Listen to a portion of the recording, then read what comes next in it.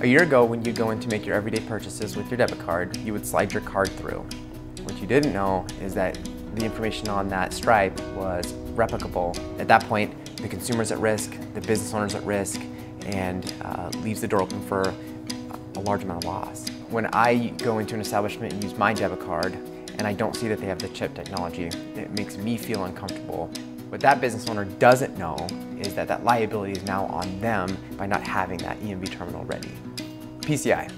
PCI stands for Payment Card Industry. It's a series of questions that really make sure that them as a business owner are taking the steps to protect the consumer's information with how they accept the payment. So if they use a terminal or if they log into their computer that they are, they have the right security, they have the right measures for vendors when they come in. And if you're doing these things, the good news is you're very unlikely to get breached.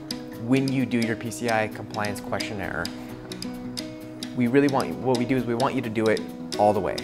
We don't want you to do it half-heartedly because what happens is, is if, if something, you, you leave an open door at that point. You leave an opening for someone to breach you, a criminal to get in and get that information. If they get that information, then you put your customers at risk and you put your business at risk.